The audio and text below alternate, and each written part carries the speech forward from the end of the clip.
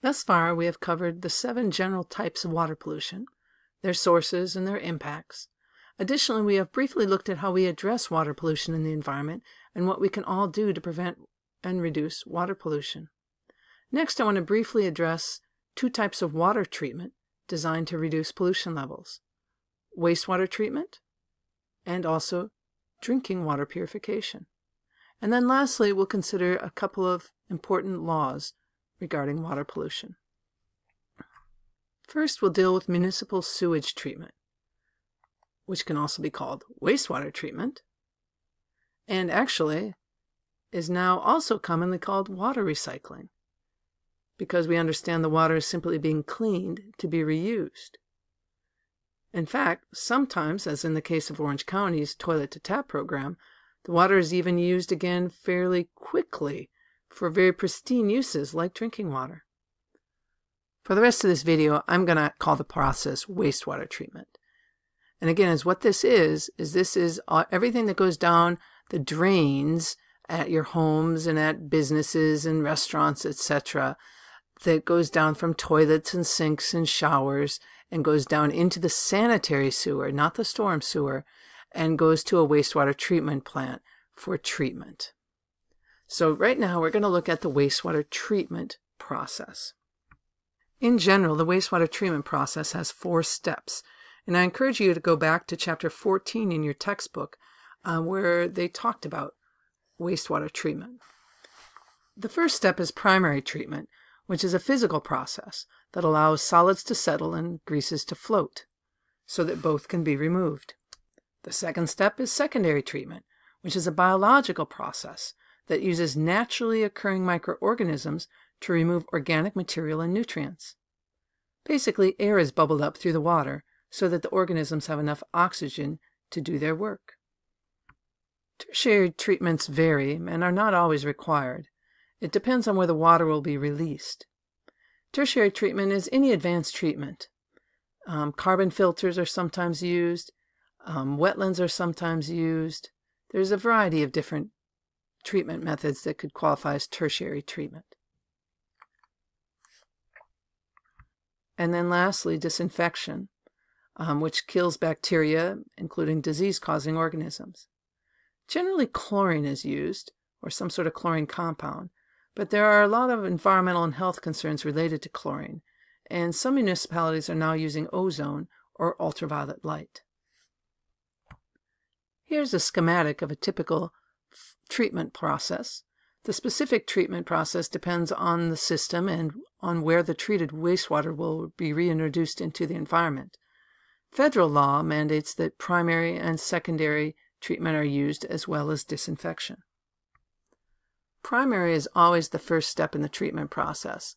This is a physical separation, as we said, where the solids are allowed to settle and the greases float to the top. So it's just simply a matter of letting the water be still. After that process, goes on to secondary treatment. In secondary treatment, there's several different technologies that can be used, but in general, air is bubbled up through the water, and that facilitates decomposition. After the water has been aerated for quite some time and the bacteria have done their job of degrading a lot of carbon compounds and turning them into CO2. Then the water goes into the clarifier, which is the second part of secondary here, and it is allowed again to simply settle. And the solids settle out, and some of those solids are bacteria that are put right back into the aeration tank again. And the, the water, which is now fairly clean, goes on to disinfection or tertiary treatment, depending on the plant. In some cases, after disinfection with chlorine in this case, but sometimes with UV light or ozone, the water is then released to the environment or used for irrigation. Um, in some plants, the tertiary treatment is done after disinfection, and some plants it's done before. Part of your assignment this week is to figure out where and how your wastewater from your home is treated. You will also be asked to figure out what happens to the water after it is treated. Generally, it's either released to natural water bodies, the ocean, the bay, or a river, or it's used for local irrigation. But you'll have to see what's done in your community. And you'll also be asked to figure out what happens to the to the sludge, or now more commonly called the biosolids, after treatment. All the solids that get separated out at the wastewater treatment plant go through a process called anaerobic digestion, where bacteria that are not using oxygen uh, consume a great deal of the carbon compounds within the waste and convert it into methane gas, which has to be collected and is often used as a fuel source for the plant. After a digestion, though, there's still solids that are present as a waste product and they need to be dealt with. Sometimes they're used directly on, on non-food crops as a fertilizer. Sometimes they're composted and thus turned into a soil amendment that can be used on non-food crops and on food crops. They used to simply be dumped in the ocean, but we don't do that anymore. And then currently most biosolids um, in areas that don't have a lot of agriculture get dumped into landfills. Now, to be fair, they're actually used as daily cover, so they're not totally wasted when they're dumped into landfills. But most people would agree there's a lot of nutrients in those biosolids, and they could probably be put to better use than simply being dumped in a landfill. For most people, once the water goes down the drain, or once they've flushed, they no longer think about what happens to their wastewater. But we should. In fact, we should be thinking about it even before it goes down the drain and before we flush so that we can make this process run more effectively to reduce pollution and also to make the process cheaper to save ourselves some money as taxpayers. Two simple things we can do is to make sure that we don't put toxic things down the drain. The only thing that should leave our house through our sanitary sewers is water, toilet paper, and human waste. Of course, there will be occasional soaps and materials that we wash off ourselves, like lotions and sunscreens and cosmetics, but we should do our best to use biodegradable and non toxic types of materials. Also, the less water that we put down the drain, the less water that needs to be treated at the wastewater treatment plant. So anything we can do to conserve water will help the process as well. The other type of water treatment that's important for each and every one of us is drinking water purification.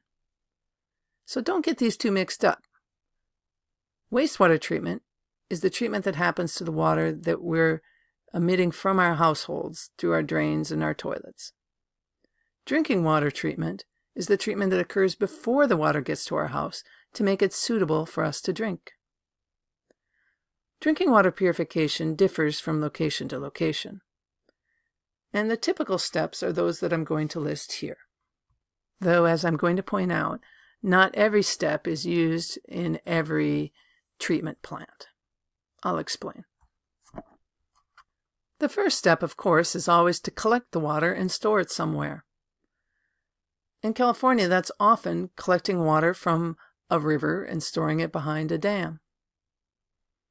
But you could also be taking groundwater and you could in in the future we may be taking ocean water that we desalinate.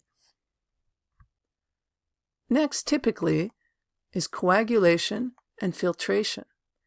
Coagulation is, is getting the organic particles and sediment to clump together. And we do this by adding other compounds to the water that entice the particles to do this. And then once they're clumped together, we can filter the water to make it cleaner. Notably, there are some water sources that are clean enough that they're actually exempt from the coagulation and filtration requirements. The next step is to raise the pH. We raise the pH to make the water less acidic. When water is more acidic, it is able to dissolve substances more easily, including metals, and it can actually leach some of the metals from the water pipes into the water. If you follow the tragedy in Flint, Michigan, this is the step that was not being done in Flint. They weren't raising the pH of the water enough, and it was slightly acidic, and it ended up dissolving some of their pipes, which unfortunately were still very old lead pipes. And lead is a neurotoxin. So the people of Flint were being exposed daily to the neurotoxin of lead because their water managers did not raise the pH of the water sufficiently. Because the water actually damaged the pipes, in order to fix this situation, what they're doing in Flint is replacing all the old water pipes, which, as you can imagine, for an entire city is quite expensive. The last step is disinfection, which is to kill the disease causing organisms that may be in the water. Generally, this is done with some sort of chlorine compound. Not only does this kill any potential disease causing organisms in the water at the treatment plant, but also the water is given a high enough dose of chlorine that that chlorine stays active within the water as it travels through the pipes and gets stored in water towers and makes it to your home. So, in summary, the water must be collected and stored some water sources have to be coagulated and filtered, and all water needs to have a pH, pH adjustment and disinfection.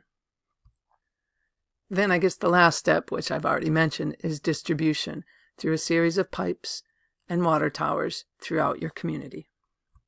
Part of your assignment this week will be to determine where and how the drinking water that comes into your home is treated. Lastly, I want to briefly mention our two most important water quality related laws, the Clean Water Act and the Safe Drinking Water Act. In general, the Clean Water Act works to improve the quality of rivers, lakes, aquifers, estuaries, and coastal waters. It attempts to eliminate discharge of pollutants into U.S. waterways without a permit and to return our waterways to fishable and swimmable conditions. We have a long way to go on that. Not surprisingly, the Clean Water Act had its roots in the 1970s when it was first passed as the Water Pollution Control Act of 1972. It has been amended several times since then. And notably, the Act first dealt with point source pollution, and in 1987 it was amended to better address non point sources. A few of the key provisions of the Clean Water Act include requiring the EPA to develop water quality standards for surface water, making it illegal to discharge without a permit, establishing a national pollution discharge elimination system, and providing funding to states and municipalities for the construction of sewage treatment plants, etc. One current problem with the law, and many laws related to the EPA, is a dire lack of funding. We can make all sorts of good laws, but if Congress does not allocate funds, the laws will not be enforced and likely will not be followed.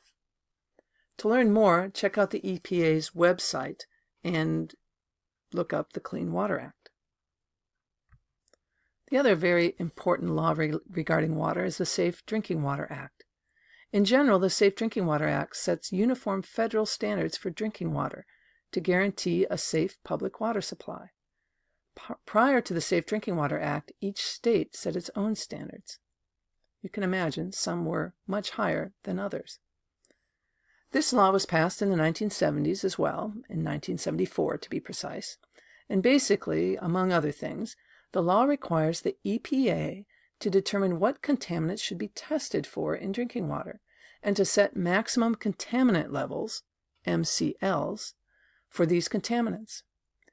They set primary standards, which are designed to protect human health, and include about 90 contaminants. And they, they set secondary standards, which are set for contaminants that don't pose a health risk, but rather pose ecological or aesthetic problems. The Safe Drinking Water Act has been amended a few times. Notably, the 1996 amendments required that municipal water suppliers tell their consumers what contaminants are present in their city's water and if these contaminants pose a health risk. This is why you now receive a water quality report, called a Consumer Confidence Report, from your water supplier by mail every year. As part of your assignment for this week, you will be asked to find and analyze your household's Consumer Confidence Report.